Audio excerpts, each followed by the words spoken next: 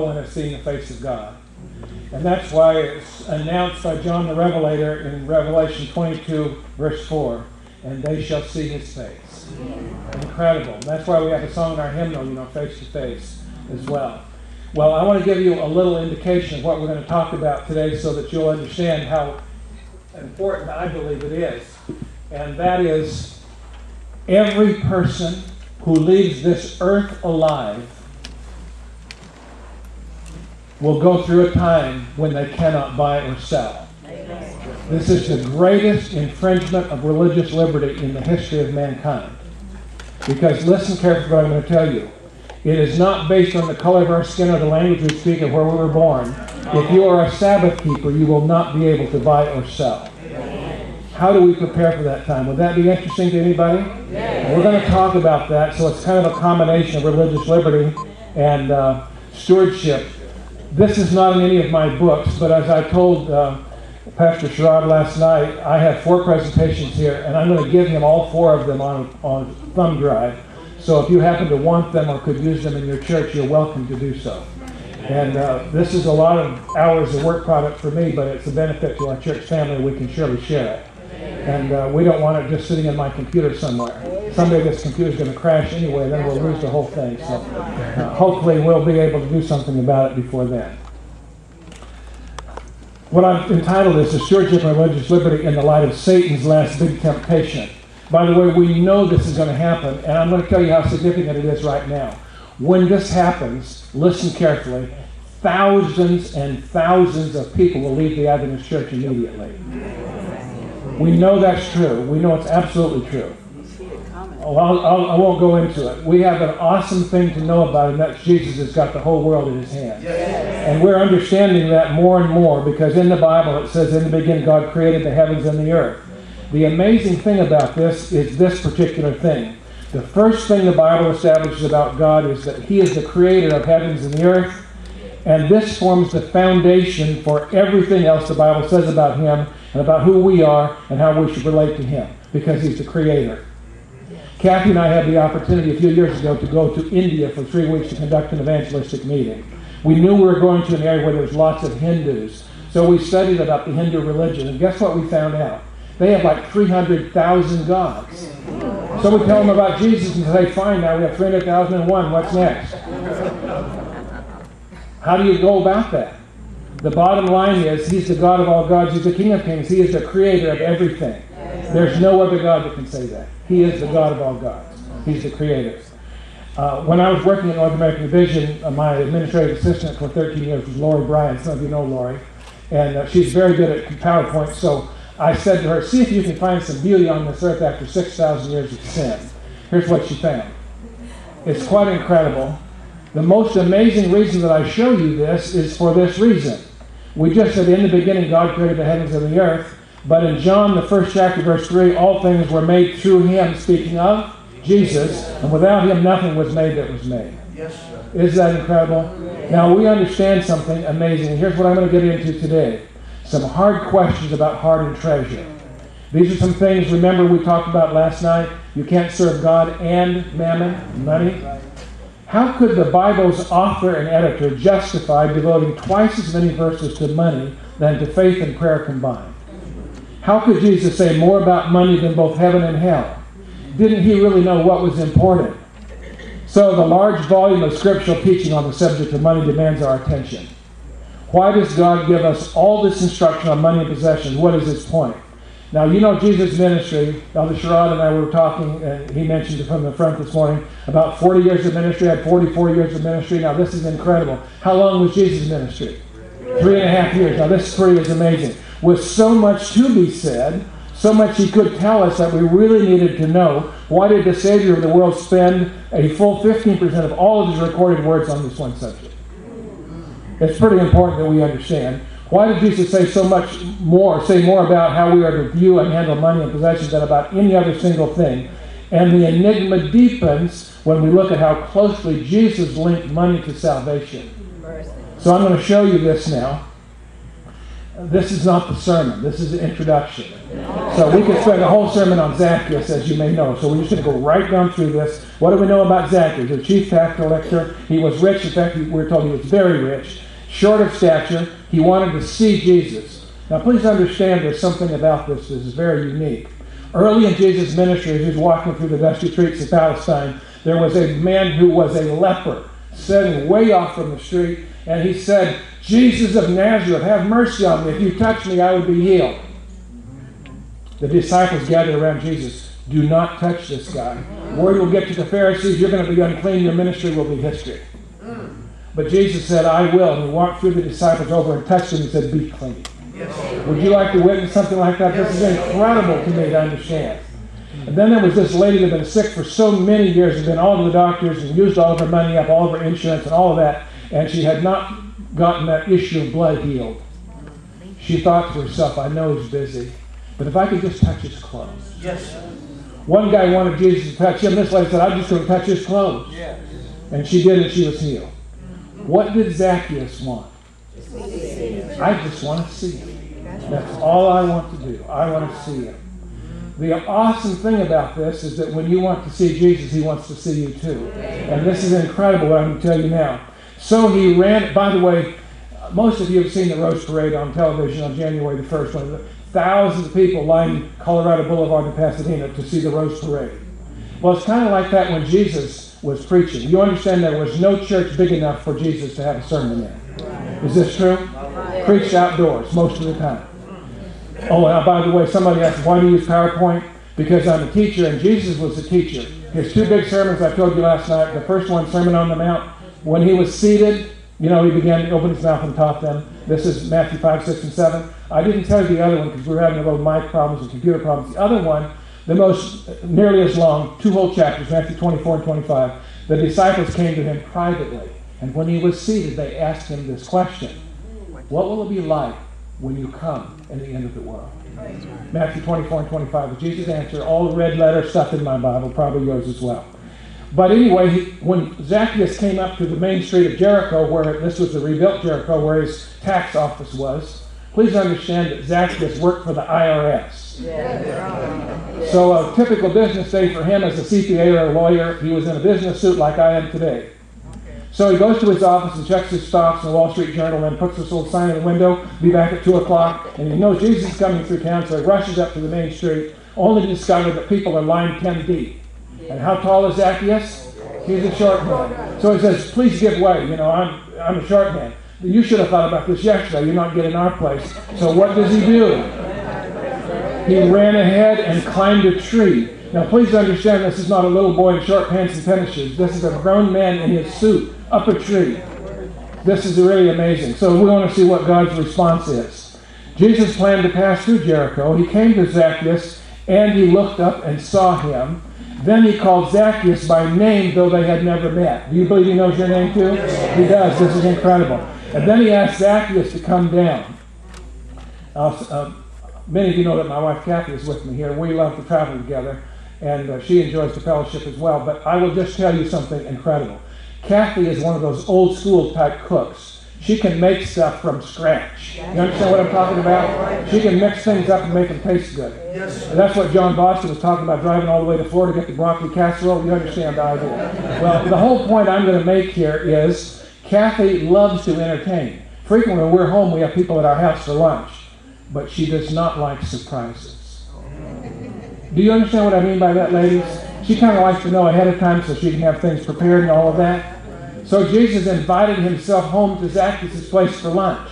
And I believe his whole life passed through. Oh no. He probably thought, well, I know this good Mexican restaurant that takes Visa. We can go over there and have lunch. But you understand that when you get Jesus for lunch, you get 12 hungry disciples that don't get regular meals. So the 13 men are coming to eat at your house. Fortunately, he was rich. So he sends a servant along. Please tell them to cook up a big meal. We'll bring Jesus and all the disciples home for lunch. Now, this is an amazing thing because the response was of this encounter with Jesus. Zacchaeus hurried down, of course. He joyfully received Jesus. Others criticized Jesus for eating with a sinner. But Zacchaeus' attitude toward money changed in one encounter with Jesus. He says, If I've taken anything I haven't restored, I'm going to give it back four times more, and half of what I have left I will give to the poor. Hmm. Now, what was Jesus' response to Zacchaeus? He didn't say that was a wonderful idea. Awesome, go for it. What he said was, Today salvation has come to this house. Would you like him to say that at your place? Yes. Sometimes it may change and take an attitude of money change or encounter with Jesus. So he judged the reality of this man's salvation based on his willingness, his cheerful eagerness to part with his money for the glory of God and the good of others. Now, the Bible tells us that in the last time, the last and most trying temptation of Satan will be how, to, uh, uh how, how we can prepare for it. Here is the great and last trial God's people, faithful people, will have to encounter. No one can buy or sell except the one who has the mark or the name of the beast. Now, this is Revelation 13, 17. Everybody understand that? Yes. Now, this is very, very, very important. And what I want to show you is this idea. Ellen White states in Last Day Events, page 148, in the last great conflict with the controversy with Satan, those who are loyal to God will see every earthly support cut off. Now that means tomorrow when I'm going home on my rental car back to Tennessee, I'm going to have to fill up with gas somewhere. And I'm going to pull into a service station. There's this little blinking light where I put my credit card in. You understand? But when I put it in, it will say, sorry, no good. You get the idea? My cell phone contacts will be cut off. The power will be cut off at my house. I will not be able to buy or sell. Rarely has anyone ever faced that. Every Sabbath keeper who plans to go to heaven will go through that time. Because they refuse to break his law and obedience to earthly powers, they will be forbidden to buy or sell. Ellen White had a couple of insights. I'm going to show you two of them today, where she actually saw one of the devil's workers' meetings. And she recorded it for us. And so here's Satan says, she heard him say, For fear of wanting food and clothing, they will join with the world in transgressing God's law. The earth will be wholly under my dominion. This is the most powerful of all things that we can do to other countries, put them under a financial embargo. You can't buy or sell with anybody. Surely it brings them around. Now just think about this. Most people can only hold their breath about two minutes. So you, air is probably the most valuable thing we have, right? You can go for several days without water, maybe even a month or so without food. But how long are you going to last if you can't buy or sell? All your stuff, your air conditioning's gone, your water's gone, your electricity's gone, your telephone's gone, everything is gone. So I just want you to think about that. The devil thinks I've got them now. So I'm going to show you how to prepare for that. Not being able to provide for yourself and your family will be a fate almost worse than death. Most of us pride ourselves in being able to provide for our families. What if you can't do that? How can a person or family prepare for this time?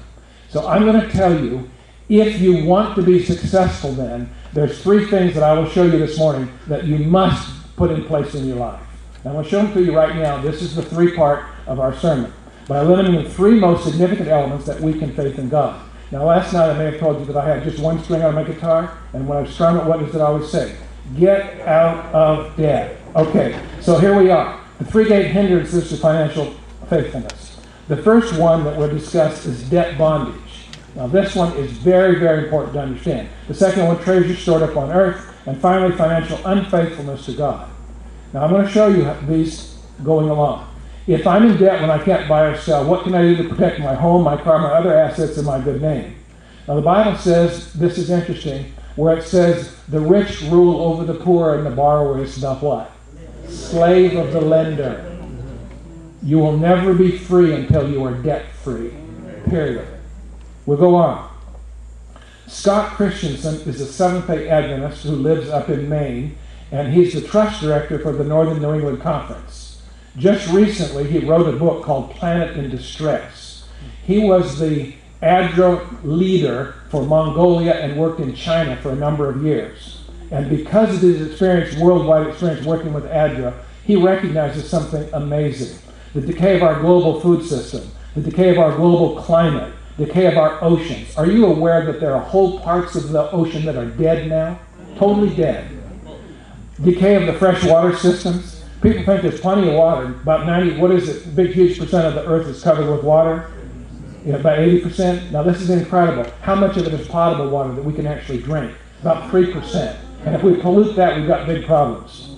the decay of our financial system, other problems with the things that we depend on for survival. So Scott, Scott Christensen, I just bought his book at ASI this, this uh, a couple months ago, and I've read it. He, he ties these concerns into the great controversy and then gives two chapters on how to prepare for the serious changes that are coming. He begins by saying, eliminate debt. That's the first thing he lists. When we are in debt to the world, we are beholden to the world. We must remain engaged in the world in order to maintain our debt payments. In order to freely serve the Lord whenever and wherever He calls, we urgently need to eliminate debt. This is important. So, are we serious about being faithful to God at the end and being among those who will stick with Him and be protected from the plagues and be a part of the group that is translated to heaven? If so, then it would be wise to make a plan to get out of debt. Everybody know what ASAP is? As soon as possible. Okay, make a plan. The second one is treasures stored up on earth. Now, this is quite an incredible thing because we get an education and we work hard to be able to live comfortably and to accumulate for our family and, and advance God's cause and so on. But notice what this is. When the rich young ruler, who was a committed religious person, came to Jesus, he asked him what he must do to obtain eternal life. This is incredible. Jesus first told him to keep the commandments. He said, which ones? So Jesus started quoting some of the Ten Commandments. And he said, well, you can stop now. I've been doing that since I was a little kid. Was he correct about that? Yes. And so then he said to Jesus, what do I still lack? Then Jesus said, Go and sell what you have and give to the poor. You'll have treasure in heaven. Then come and follow me. Now, this is amazing. And I want you to understand that why do you think that there's mention of the rich young ruler in Matthew 19, Mark 10, and Luke 18, all three synoptic gospels? It's kind of important, isn't it? God mentions it three times. Now, here's something incredible to think about. This young man was given an opportunity to follow Jesus. I have heard good preachers give a sermon titled The 13th Disciple. Jesus actually gave this young man a promise or an invitation to become part of the inner circle. Come and follow me. That's incredible. Can you imagine? Now, here's the story that I want you to understand. God does not ask every one of us to sell all of our stuff, give it to the poor, and become itinerant preachers and follow Him that way. But He knew that that money was the young man's God and that was his only hope. Mm. Do you understand? That's the reason. And Ellen White talks about it in these ways. Desire of Ages 5.19, Christ gave this man a test. He called upon him to choose between the heavenly treasure and worldly greatness. The heavenly treasure was assured him if he would follow Christ. But self must yield. He must be given into, it must, his will must be given into Christ's control. The very holiness of God was offered to the young ruler. He had the privilege of becoming a son of God and a co heir with Christ to the heavenly treasure. Now, there was much more. Christ was drawn to this young man. He knew him to be sincere in his assertions. Now, this is amazing story, but I'm going to go to the next one here. Christ made the only terms which could place the ruler where he could would perfect a Christian character. His words were words of wisdom, though they appeared severe and exacting in accepting and obeying them was the ruler's only hope of salvation. Now, I remember a number of years ago when I was just young in the ministry, I was in my 20s in my first church district, and I remembered after presenting a prayer meeting talk on the greatness of God and the vastness of the universe and so on, that He watches over each one of us. And I'm driving home in my little car, and I think, God sees me right now. He cares about me. And I convinced myself, at least at prayer meeting, that God is awesome and I'm just thrilled to be a part of his plan. So I told God, I was just you know driving my car, but I was just kind of in a mode of prayer. And I said to God, You have my permission to do whatever it takes to save me. Because when we get to heaven, everybody's going to say, Heaven is cheap enough, right? But I didn't stop my prayer then. I kept saying something like this Please help me learn my lessons the easy way. because you don't have to fry your brains on drugs to know that happens that way. You can see it in the lives of other people. Isn't that true? You understand. So here's the idea He loved him so much. The ruler was quick to discern all that Christ's words involved, and he became sad. If he had realized the value of the offered gift, this is again Desire of Ages 520, quickly would he have enrolled himself as one of Christ's followers He was a member of the honored council of the Jews, and Satan was tempting him with flattering prospects of the future. He wanted the heavenly treasure, but he wanted also the temporal advantages his riches would bring him. He was sorry that conditions such as conditions existed. He desired eternal life, but he was not willing to make the sacrifice. The cost of eternal life seemed too great, and he went away sorrowful, for he had great possessions. Now, let me just tell you a little illustration so you can understand how important what I'm telling you is. Assume for a moment that that exit sign over there is at creation, and there should be one over here, and that's the second coming of Christ, right? Between there, by the way, on the other side of it, out toward the office over there, is eternity past that God inhabited. On the future is eternity in the future where we'll all be with God, right? But in between here is about 6,000 years of time. In light of all of time and all of eternity, how long of space is your life? Just a dot. When I was speaking at GYC, I gave this illustration and I said dot com. Just a period. You understand? The whole point is from that dot, a line stretches out and has no end, and it goes by the room on out through eternity, and you live for God forever. If you're smart. Would you concentrate more on the dot or the line? The rich young ruler went away in tears because he realized he had just traded this earth for all of eternity. For money. This is incredible stuff that we're telling you about. Now, this isn't the sermon yet. We're getting into it a little bit more here. when Christ's followers give back to the Lord his own, they are accumulating treasure which will be given to them when they shall hear the words, Well done, good and faithful servant, enter thou into the joy of thy Lord. Remember what I told you last night? The money that we do to help others and we advance the cause of God is in our account in heaven. It's going to be given to us when we get to heaven. This is pretty amazing stuff. A lot of people don't know that. So do not lay up for yourselves treasures on earth where moth and rust destroy uh, destroy when thieves break in and steal. So I always ask people when I read this, this is Matthew 6, 19, why should we not store up treasures on this earth? The answer is right here. It's not safe here. It's not so much it's wrong, it's stupid. Do you see it's not safe here? But then it says, But lay up for yourselves treasures in heaven where neither moth nor rust destroy, and where thieves do not break in and steal. There it's safe. For where your treasure is, your heart will be also. By the way, Jesus said after these encounters to the disciples, It is hard for a rich man to enter the kingdom of heaven. Not because God doesn't love them, but because they may be attached to their stuff. Very interesting. Now, I'm going to tell you a little interesting story. When I submitted the manuscript of my book, even at the door, to the review for printing, it's one of those 250 page books. They printed, they ran it out. You know, that's you give it to them on a disc or a thumb drive or whatever, and they, they'll run it out and see what it looks like.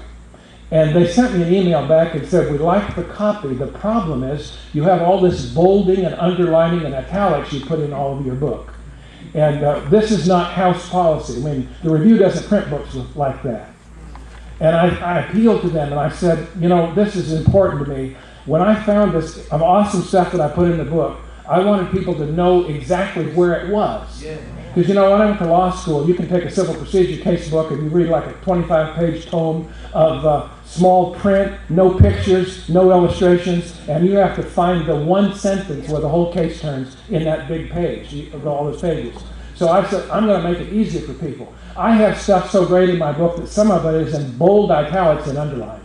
I mean, everything at once that you can do is done there. Now, I'm going to tell you something interesting. You can read through all nine volumes of Ellen White's Testimonies to the Church, or all five volumes of Conflict of the Ages series, and you'll never find anything in bold or never find anything in underline. But occasionally, Ellen White uses italics herself. This is one of them right here. By the way, if you only use it sparingly, it should be important, right? Yeah. Amen. This is Counsels on Stewardship 209. For all this accumulation of cares and burdens is born in the direct violation of the injunction of Christ who said, Lay it not up for yourselves treasures on earth, where moth and rust doth corrupt, and where thieves break through and steal. They forget that he also said, Lay up, here's the italics, not for God. God does not need the money. Does everybody understand? God doesn't need the money. Lay up for yourselves, this is right what the Bible says, treasures in heaven, that in so doing they're working for their own interest. You're putting it into your own account. The treasure laid up in heaven is safe and no thief can approach or moth corrupt it. Very, very important stuff.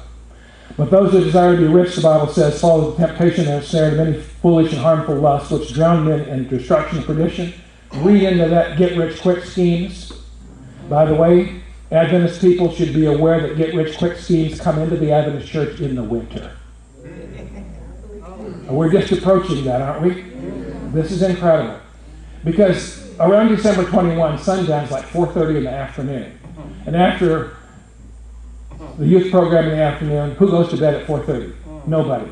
So what I'm going to tell you, is some of your friends at church will say, why don't you guys come over to our place for some popcorn and pizza? We found this wonderful thing we want to tell you about.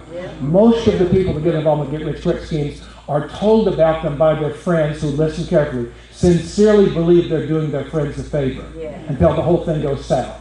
Now this is incredible. The love of money is the root of all kinds of evil, for which some have strayed from the faith in their greediness and pierced themselves through with many sorrows. So we're going to look at one more quick story. Then we're going to look at what I consider the most important one. This is a picture, an artist's description of who do you think it is? Abraham and Lot. Now, God told them when they were leaving the 12th chapter of Genesis that He was going to bless them and be a blessing to all the nations of the earth. Was God able to do it?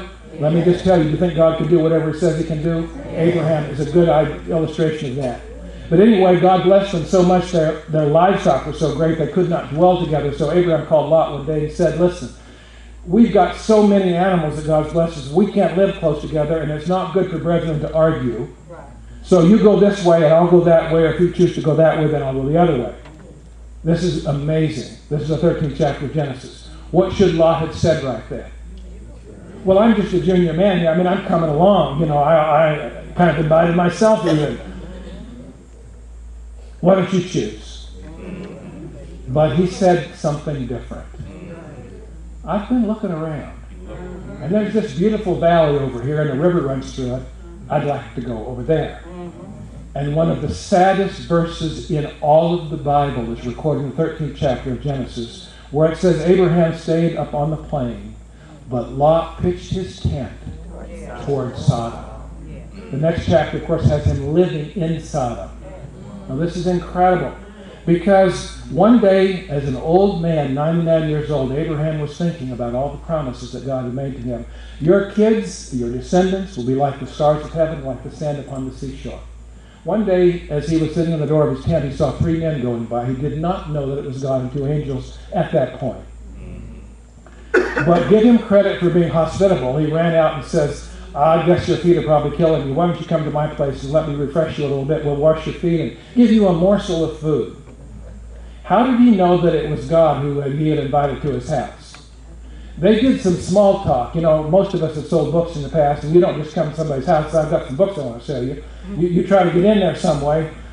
When I was younger uh, in college, we were from the Home Health Education Service. You know, you understand. Anyway, when you get in, you don't just open your briefcase and start showing books. You look around in the mantle. Who's that nice young man in uniform there? Who's that couple in the wedding just getting married? Tell us about your family. So God said to Abraham, Tell me about your family. Well, it's just me and my wife, and we're getting up there in years. I'm 80, uh, 99 and she's 89. But God has told us that our kids are going to be like the sand of the sea and the stars of heaven. And God said to him, just tease him a little bit, Tell me again, how many kids do you have now? None. So, God said, about this time next year, your wife will have a baby boy. Now, this is amazing. Can God do whatever He says He can do? This is amazing. So, by the way, Sarah was inside the tent and was not visible, and she did not laugh out loud. The Bible says she laughed in her heart. But God said, Why did Sarah laugh? Isn't that interesting? You understand. Well, the, you, you know the story. The same experience was those two angels. What God sent them on down to Sodom. I don't have a chance to tell you this whole sermon, but in this story, after arguing with the angels all night as to why they should not leave Sodom, as the morning dawned, the, the, you know, they had that experience with the homosexual community and all that stuff, and he went out to his kids and they laughed at him. This is incredible. But in the morning, the angel said, We can't linger anymore because it's coming.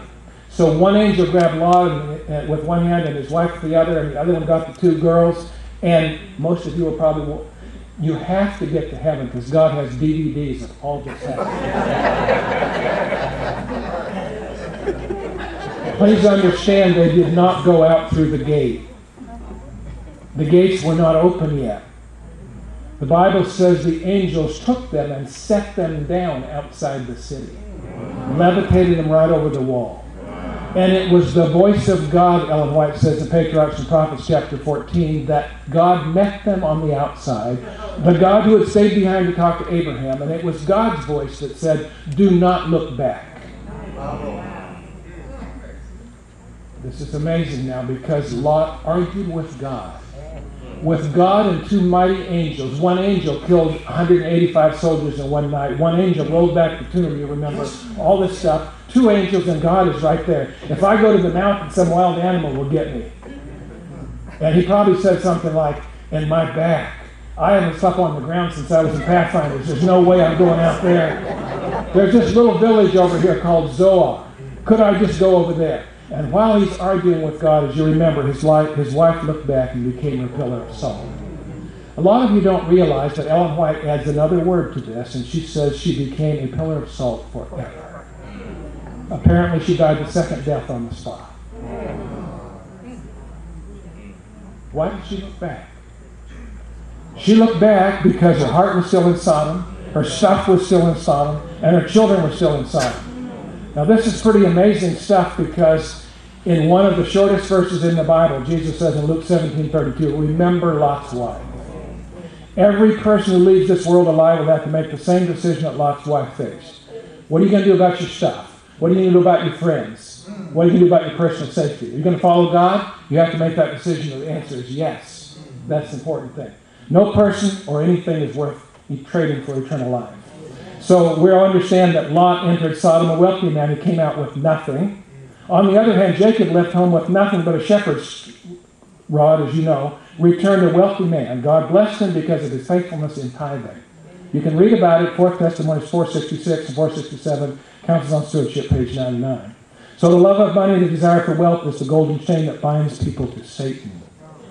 The work of God is to be more extensive, and if his people follow his counsel, there will not be much means in their possession to be consumed in the final conflagration.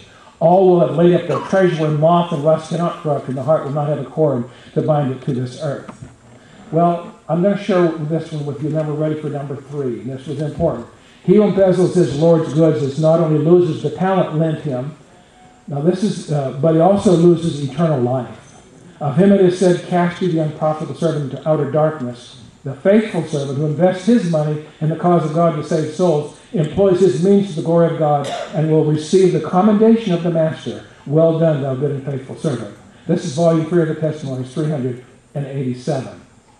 So, when our treasures are stored up on this earth, the closer we are to death or the second coming, the more stress is going to be on our hearts. What's going to happen to our stuff?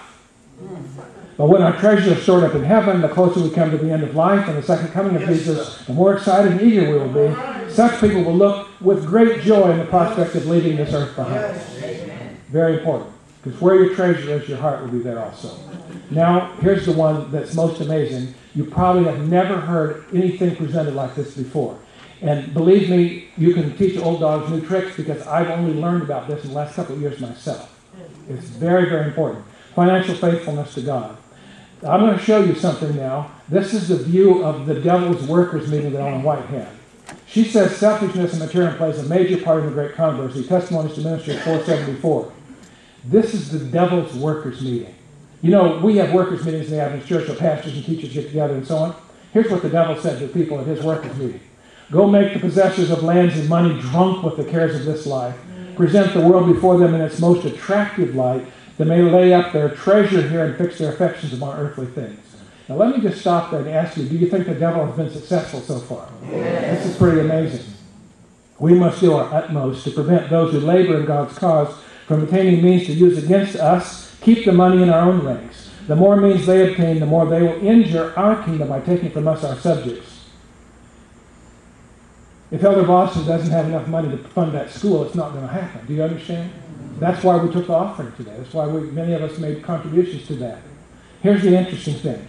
Make them care more for money than for the upbuilding of Christ's kingdom and the spread of the truth of behavior. We need not fear their influence. Now, Ellen White didn't underline this, I did.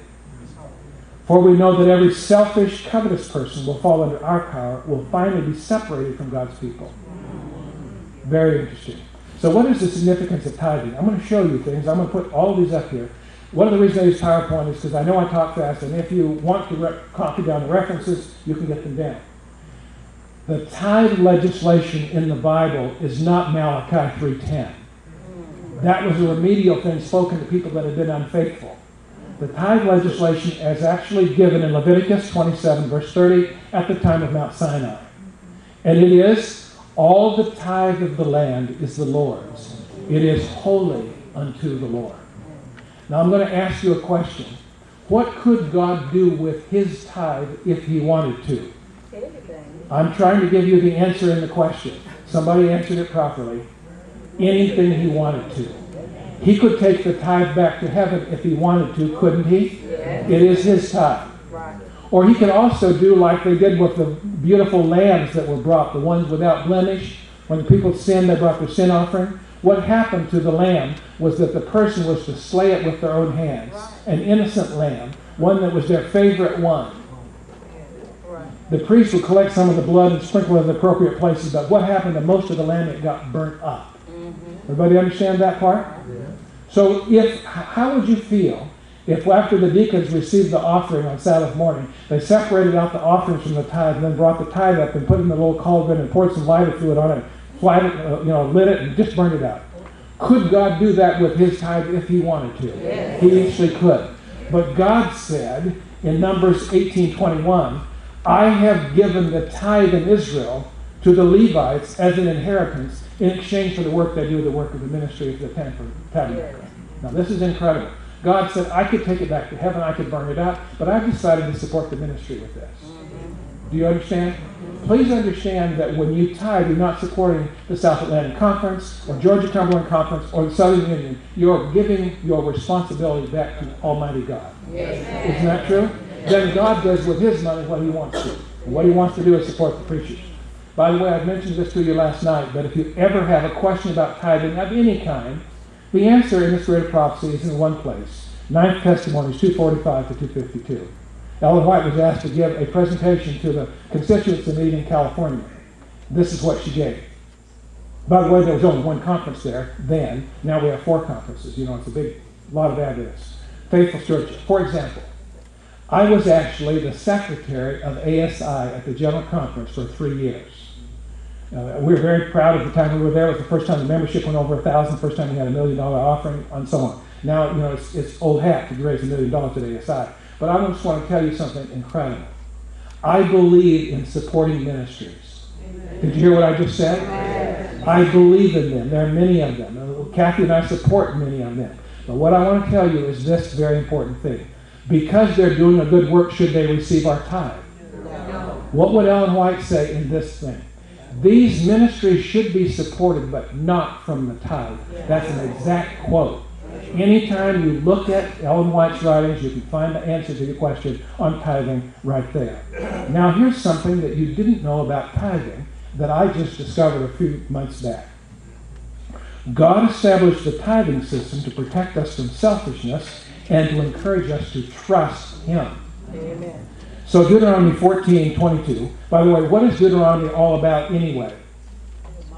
Deuteronomy is Moses' last four sermons to Israel before they crossed over into Jordan. And so he's going through all of God's blessings and all the promises and all the counsel that God gave. Then he says, You shall surely tithe the increase of your grain that the field produces year by year, that you may learn to fear the Lord your God always. Now, what does it mean in this setting to fear God?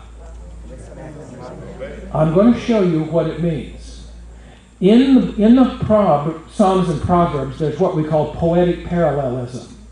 Many of the Psalms say the same thing twice. The fear of the Lord is the beginning of wisdom, and knowledge of holy is understanding. You know, it says it two different ways. So here's one of the Psalms, Psalm 31, 19. Oh, how great is your goodness, which you have laid out for those who do what? Fear you. Then the second half, saying it a different way, says, which you've prepared for those who trust you. Trust in you. So the fear of the Lord is trusting in Him. Now, I'm going to give you just a brief illustration here, and I hope that you have already read it before. If not, write it down. It's the kind of thing that you would expect to see in early writings, but instead it's in volume 2 of the Testimonies, 594. Ellen White named it an impressive dream. She had over 2,000 visions and dreams in her ministry to the remnant church in the world.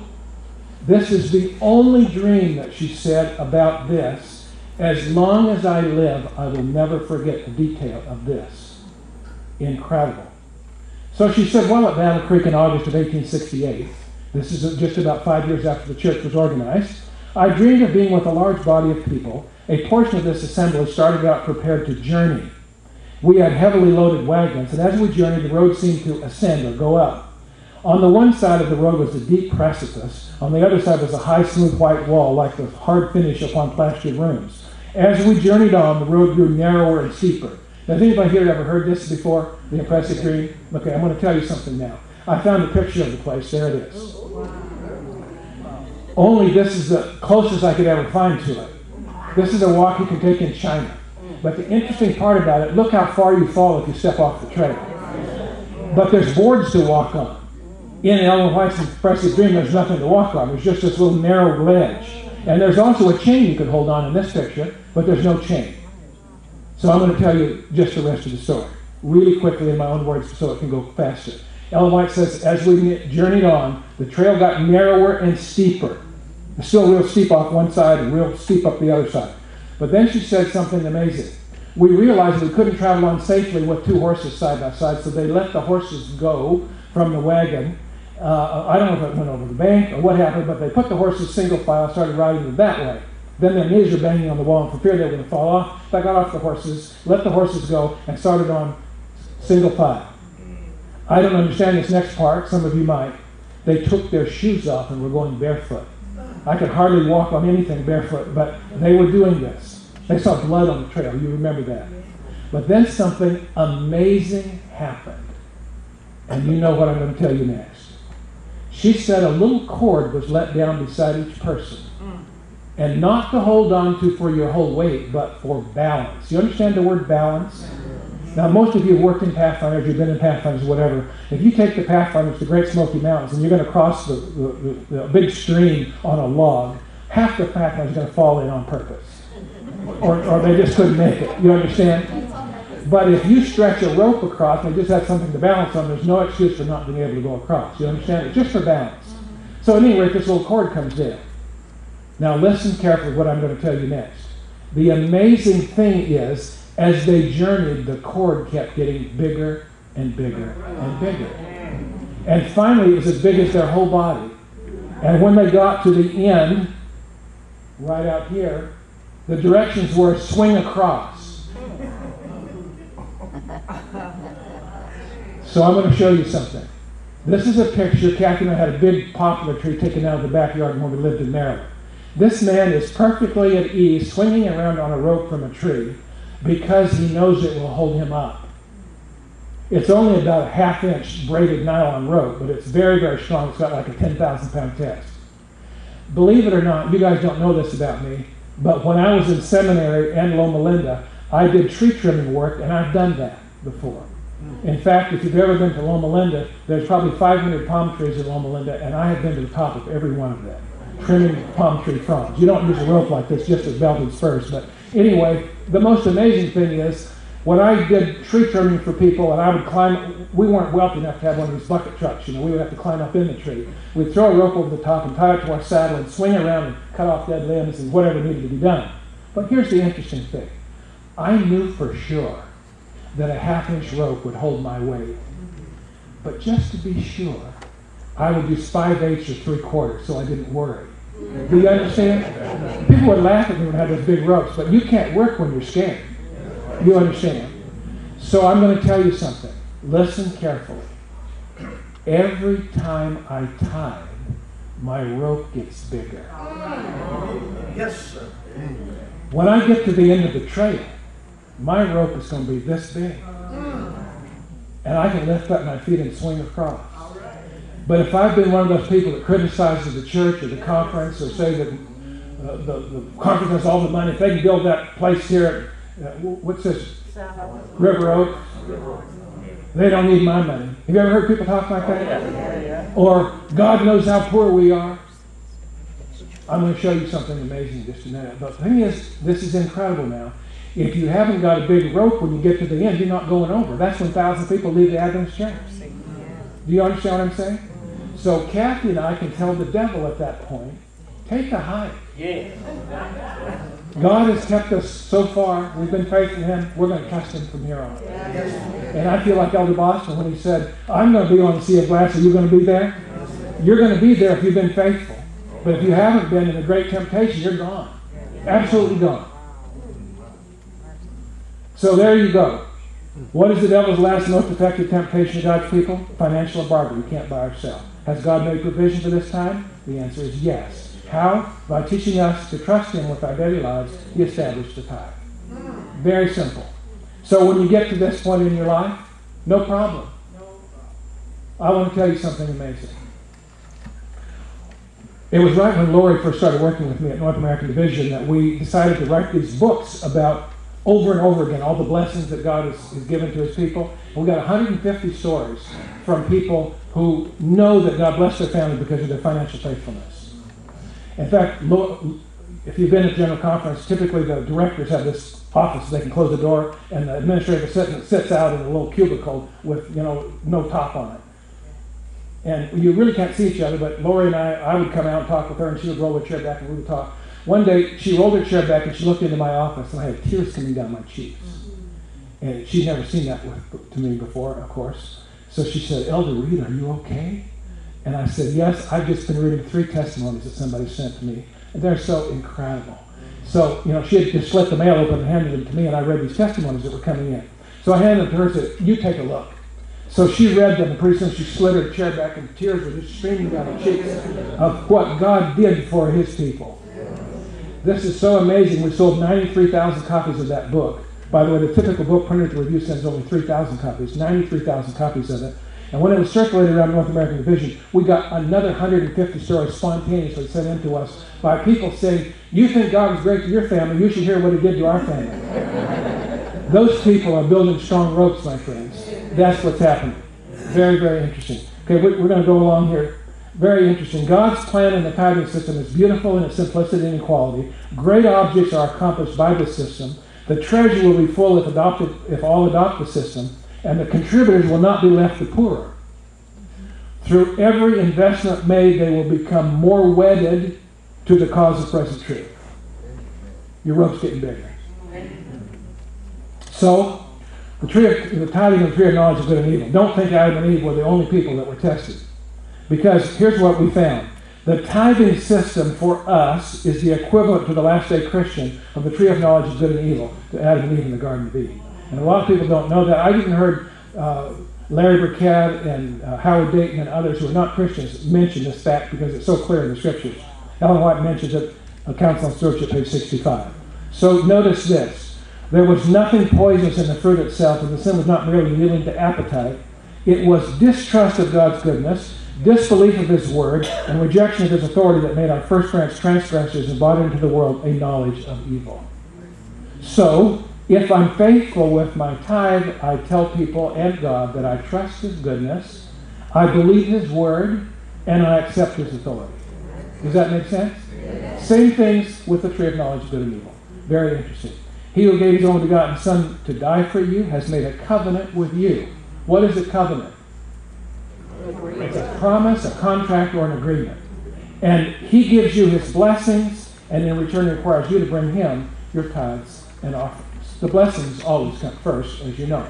So I'm going to look at this one and just show you a couple of things as I close this presentation. There are three elements to an honest tithe. In English, they all begin with the letter P. The portion of the percent, which is one tenth. The place to return it is the storehouse. By the way, where is the storehouse?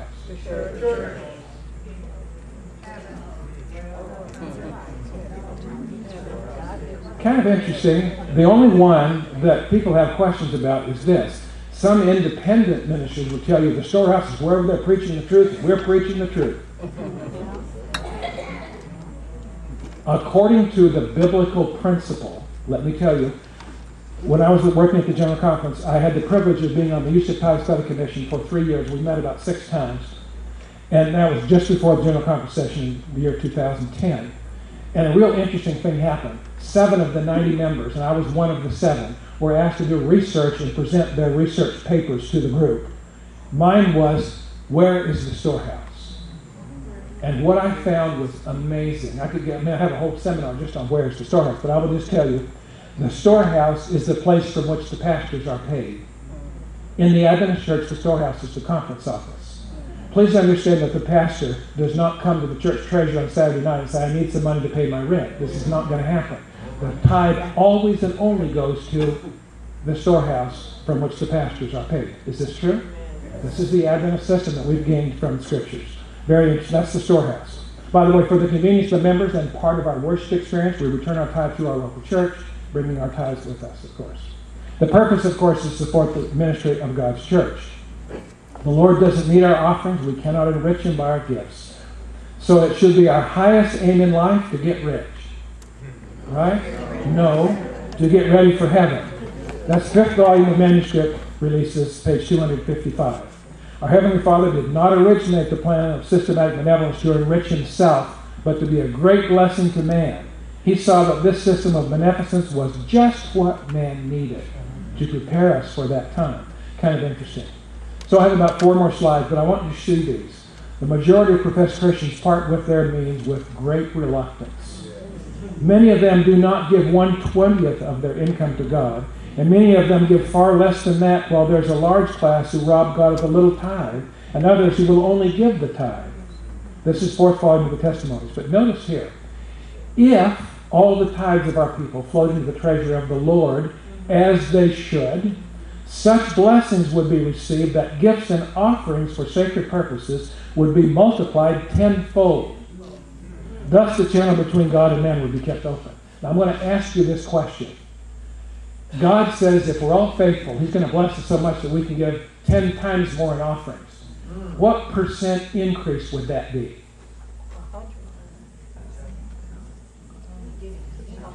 A thousand percent. A thousand percent. God said He would bless us so much that we would have a thousand percent more to give. Now, I happen to know because I have a master's in public health that Loma Linda is one of the three or four places in the world that's called a blue zone because people live longer there. And that's because many practice the Adventist health message.